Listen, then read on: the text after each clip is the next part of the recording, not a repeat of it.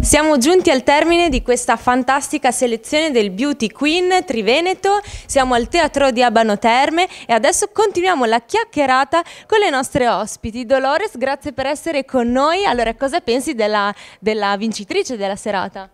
Grazie a voi di avermi invitato e tutto. E guarda, la vincitrice è stata fantastica, la prima e la seconda sono state meravigliose, però devo dire che anche tutte le ragazze si sono impegnate. Poi naturalmente sai, ognuno ha il proprio gusto, ognuno ha la propria tecnica di esporre i propri personaggi e tutto, però devo dire veramente molto brave. Sto aspettando la finale, eh. Assolutamente sì, abbiamo già ricordato ai nostri amici l'appuntamento di Bologna.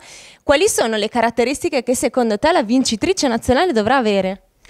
Ma sai, eh, il tema è molto particolare in questo, mm, in questo, concorso, non c'è lo spettacolo della drag, per cui il tema, in questo caso questa sera l'animalier, oppure comunque il tema che ci sarà, è, è, che dire, è molto difficile perché insomma l'importante è che loro entrino e anche una cosa molto importante è che si divertino, perché divertirsi fai anche già metà dell'opera del, del, lavoro che uno ha pensato in primis. Poi sai, sono tante settimane che loro si preparano i costumi, che scelgono il look, per cui insomma vinca la migliore.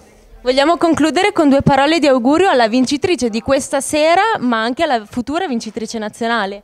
Allora che dire, beh questa sera bravissime, brava Nana Saturno, prima arrivata, seconda Mary Maison, fantastiche tutte le ragazze e la vincitrice di Bologna poi alla finale l'8 maggio alle ore 17.30 a Bologna, insomma tanti auguri, veramente un mega bacio.